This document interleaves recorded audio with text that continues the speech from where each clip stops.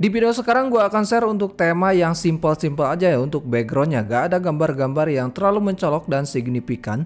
Terlihat untuk di tema yang pertama ini backgroundnya hanya gunung-gunung aja ya. Dan untuk di keseluruhan icon pack ini masih tembus semua dengan gaya yang warnanya juga pink ya. Bar notifikasi masih ada gelembungnya ya dan untuk di control centernya ini juga masih berubah bro. Dengan shortcut warna oranye yang aktif Perubahan di pengaturan juga masih dengan gambar kartun atau 3D ya untuk backgroundnya dan untuk di icon packnya juga masih dengan warna-warni.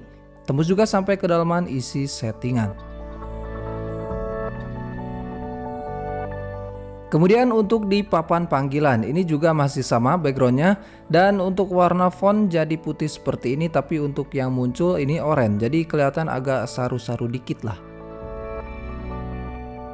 Di kontaknya juga masih berubah terutama untuk di logo profilnya ya masih tembus.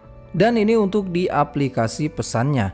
Polanya mungkin sama aja ya untuk backgroundnya tapi untuk diisi chattingannya ini kelihatan mewah dan elegan aja. Volume slider yang masih seperti original dan untuk di lock screennya mungkin muncul beberapa widget yang bisa kalian buka ya termasuk di sini ada widget ke Facebook, ke Instagram dan ke Twitter Semuanya bisa kalian buka tapi harus melewati kata sandi atau layar kunci ya. Nah di slide ke sebelah kiri atau ke sebelah kanan pun muncul beberapa widget lagi. Ada widget musik dan bisa kalian buka tapi harus juga melewati kata sandi pola layar kunci. Tema ini supportnya di live mode aja Untuk nama temanya mungkin bisa langsung kalian simak di video Dan satu lagi ya tema ini gak tembus ke aplikasi WhatsApp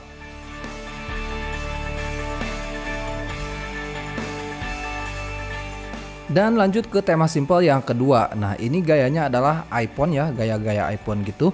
Kelihatan untuk di tampilan widget jamnya dan di keseluruhan icon packnya mungkin hampir mirip dengan iPhone.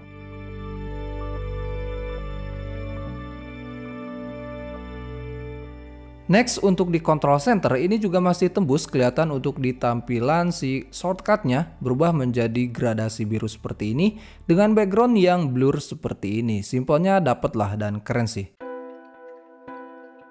Yang mencolok tampilan perubahannya ada di papan panggilan. Di sini untuk angka-angkanya jadi naik ke atas ya. Meski untuk tombol-tombol opsi yang di bawah itu yang bisa diklik hanya di panggilan doang bro. Yang tengah yang warna hijau. Yang lainnya itu gak bisa diklik ya.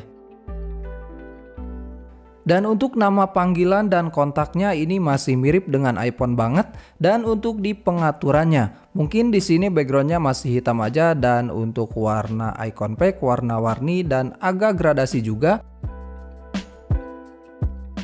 Volume slider yang masih biasa aja dan untuk di aplikasi pesan. Mungkin ini juga masih biasa aja sih tampilannya ya. Gak ada perubahan yang begitu signifikan yang gue suka sih di tema ini hanya di wallpapernya doang bro ya. Gradasinya itu dapat banget dengan yang di iPhone. Kemudian untuk widget jam lock screen dan home screen itu keren ya dan simple aja gitu. Di slide ke sebelah kanan seperti ini muncul beberapa widget yang bisa kalian buka juga untuk di lock screen ini. Tapi harus melewati kata sandi layar kunci. Tema ini bisa kalian gunakan di mode malam dan di mode terang ya atau di light mode. Seperti biasa untuk nama temanya kalian simak di video dan masih ada di lokasi Indonesia. Hanya dua tema aja, tema simple yang bisa gua share di kesempatan kali ini. Semoga aja kedua temanya kalian suka ya. Dan jika ada rekomendasi tema dari kalian, seperti biasa tinggal tuliskan aja di kolom komentar. Like bila suka dengan videonya, dislike bila kalian gak suka dengan videonya. Subscribe, dan akhir kata wassalamualaikum warahmatullahi wabarakatuh.